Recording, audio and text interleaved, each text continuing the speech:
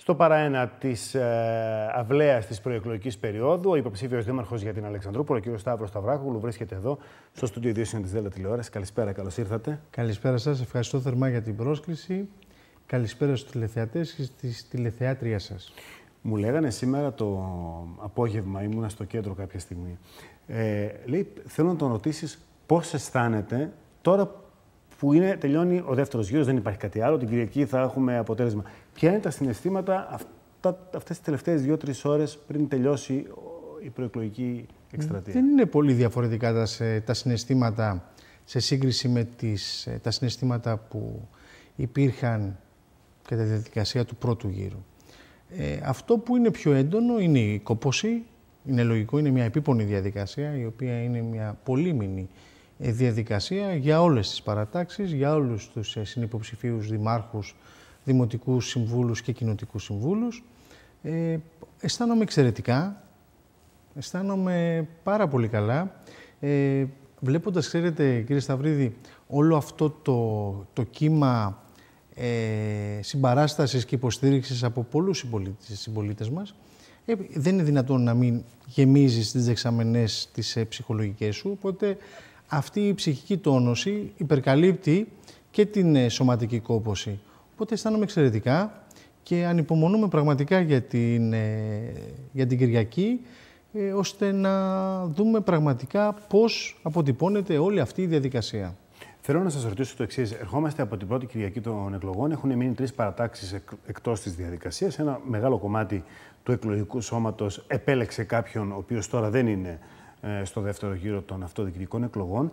Ε, Ποιος είναι ο λόγος σας απέναντι σε αυτούς τους ανθρώπους ή δίπλα σε αυτούς τους ανθρώπους για να επιλέξουν εσάς έναντι του άλλου ψηφοδελτίου; Να σας πω. Αρχικά να δούμε λίγο τα κάποια χαρακτηριστικά που έχουν να κάνουν με τη διαδικασία του πρώτου γύρου. Γιατί ως δεδομένο, ως παραδοτέο, αν θέλετε, όλης αυτής της διαδικασίας είναι η διαδικασία του πρώτου γύρου. Έχουμε λοιπόν ότι υπάρχει αποτυπωμένη μια πολύ μεγάλη αποδοκιμασία της σημερινής Δημοτικής Αρχής που την καθιστά απερχόμενη Δημοτική Αρχή. Ε, και αναφέρομαι στο, στην τοπική κοινωνία η οποία ε, φαίνεται ότι θέλει να κάνει μια μεγάλη αλλαγή. Η μεγάλη αλλαγή προφανώς εκφράστηκε και με τις τρεις υπόλοιπες παρατάξεις. Αλλά σε κάθε περίπτωση παγιώνεται ένα μεγάλο ποσοστό αποδοκιμασίας της ε, σημερινής Δημοτικής Αρχής. Ένα δεύτερο στοιχείο είναι ότι η πολυσυλλεκτικότητα, η σύνθεση και η ενότητα που βγάλαμε ως πολιτικά χαρακτηριστικά στο δημόσιο λόγο μας ήταν αυτά που μας έδωσαν και μία, ε, αν θέλετε, ε, ένα προβάδισμα στις δύο, εκτο, στις δύο από τις τρεις δημοτικές ενότητες του Δήμου Αλεξάνδρου, όπως αναφέρομαι στη Δημοτική Ενότητα Φερών και στη Δημοτική Ενότητα Τρανουπόλεως.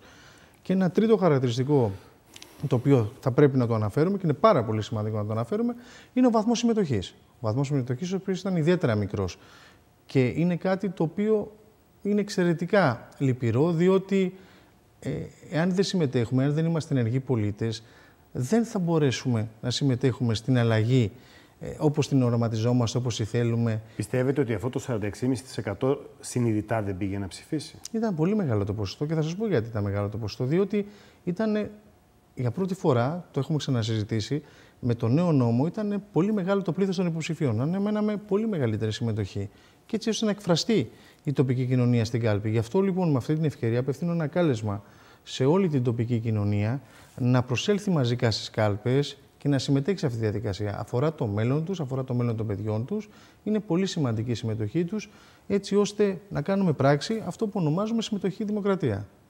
Κάνατε επαφή από τη Δευτέρα το πρωί και μετά με τους uh, ε, τρεις διεκδικητές που έμειναν εκτός της διαδικασίας. Θα έλεγα με τους δύο, γιατί η Λαϊκή Σπύρος νομίζω δεν θα έμπαινε σε μια τέτοια διαδικασία. Θεωρείτε ότι θα έπρεπε να πάρει θέση κάποιος από τους υποψηφίους δημάρχους που έμειναν εκτός για την επόμενη μέρα, ή θα έπρεπε οι πολίτες να αποφασίσουν μόνοι τους τι θέλουν να κάνουν; Ξέρετε κάτι, τιμώ τη στάση και των ε, τριών παρατάξεων, ε, των υπολείπων τριών παρατάξεων και με την ευκαιρία να τους ε, συγχαρώ και για τον αγώνα τους. Ε, γιατί ήταν ένας αγώνας πραγματικά μέσα σε αμυγός πολιτισμένο, πολιτισμένο πλαίσιο. Ε, νομίζω ότι αυτά ανήκουν σε άλλες εποχές. Κανείς δεν μπορεί να καθοδηγήσει κανέναν. Ε, νομίζω ότι το σωστότερο είναι όπως έπραξαν και οι υπόλοιπες παρατάξεις, οι οποίες έμειναν εκτός της διαδικασίας του δεύτερου γύρου. Και θα σας πω το εξής. Επίσης, εξίσου σημαντικό είναι ότι με όλους αυτούς τους ανθρώπους, ξέρετε, δεν γνωριστήκαμε τώρα. Ούτε έχουμε να χωρίσουμε τίποτα. Με όλους αυτούς τους ανθρώπους που προπήρχαμε, οι σχέσεις μας υπάρχουν, θα υπάρχουν και βασιζόμαστε σε αυτές τις σχέσεις. Βασιζόμαστε σε αυτές τις σχέσεις ώστε να κάνουμε πράξη αυτό που λέμε προεκλογικά. Να μην μείνουμε σταθά. Πιστεύουμε και έχουμε επενδύσει στην ενότητα, πιστεύουμε και έχουμε επενδύσει στη συνεργασία.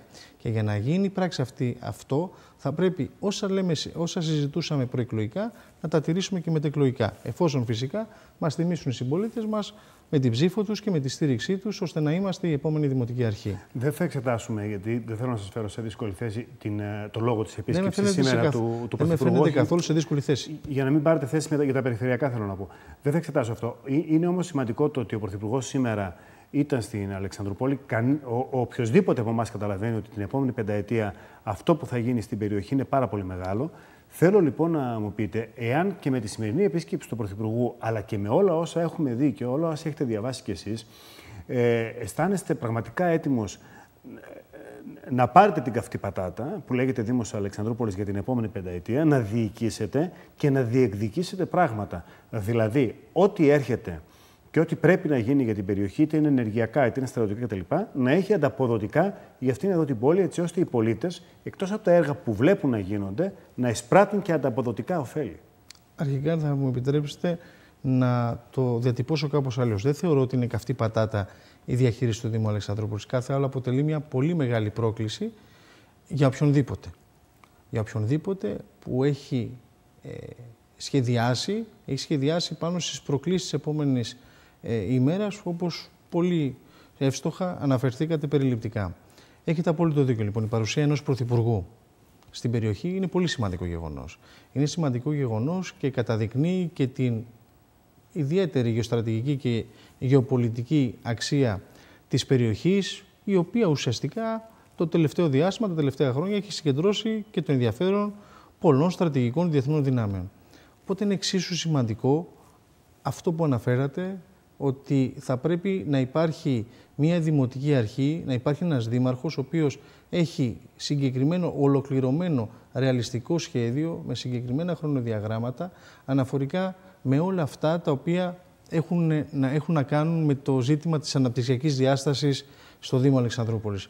Μια αναπτυξιακή διάσταση όμως, η οποία είναι αμυγός ισόρροπη. Δηλαδή, έχουμε τρεις δημοτικές ενότητες. Θα πρέπει να υπάρχει ισορροπίας σε αυτές τις δημοτικές ενότητες ε, αναφορικά με το τι θα γίνει στην περιοχή. Δεν μπορεί να, τα, να υπάρχουν ε, μόνο οι ωφέλειες στο Δήμο Αλεξανδρούπολης. Αναφέρομαι στα ανταποδοτικά που, ε, που είπατε.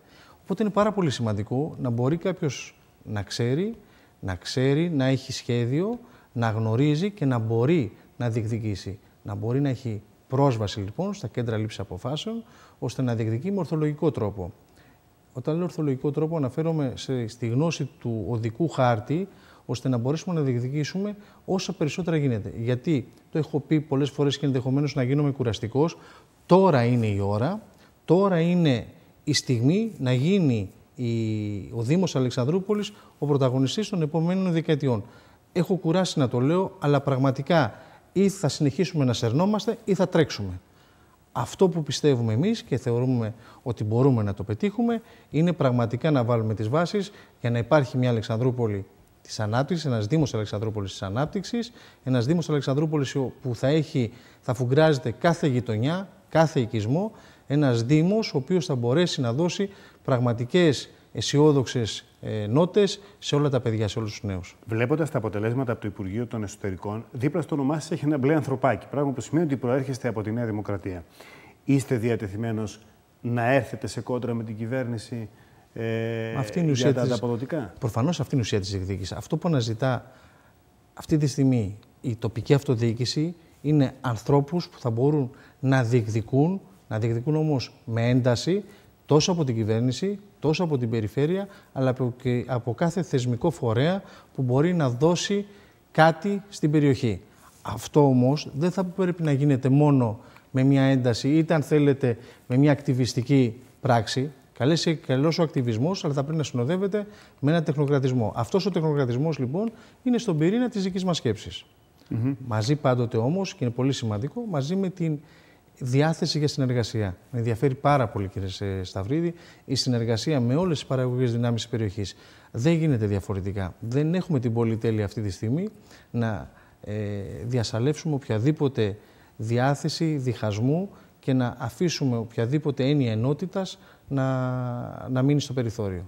Ε, θέλω ένα λεπτό, ένα σχόλιο, γιατί ο χρόνος πραγματικά δεν επιτρέπει για περισσότερο. Ήταν σήμερα προγραμματισμένη να γίνει μια τηλεμαχία εδώ στη Δέλτα στις ναι, 9.30, ναι. η οποία ναι.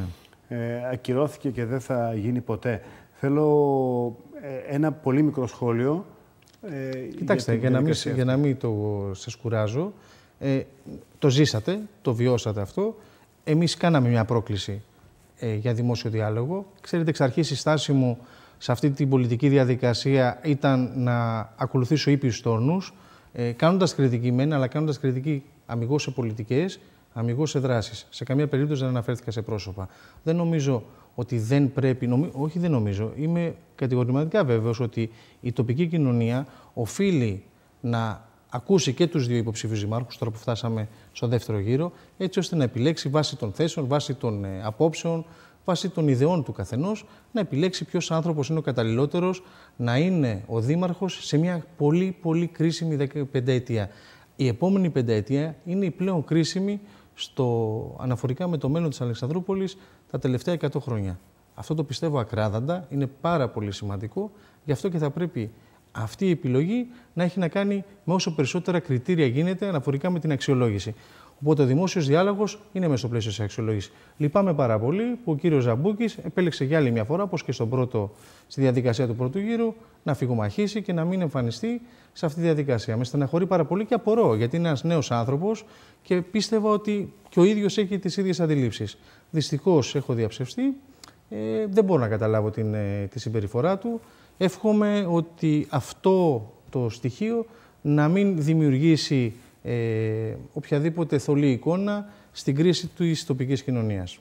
Σας ευχαριστώ πάρα πολύ. Εγώ ευχαριστώ θερμά. Να είστε καλά. Να είστε καλά, καλή δύναμη. Ευχαριστώ πολύ.